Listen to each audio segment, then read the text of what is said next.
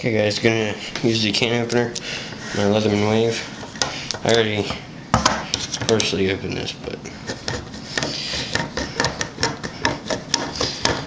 the way you do this is you get this little lip right here, get it under the the little rim of the can, and then make a cut,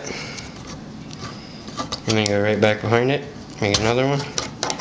There, I left a little piece, but you just cut right through that, and just basically keep doing that.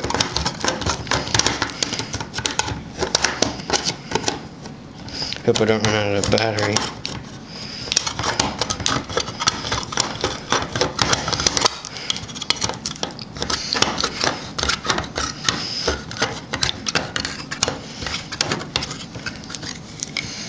Just be careful, that's sharp.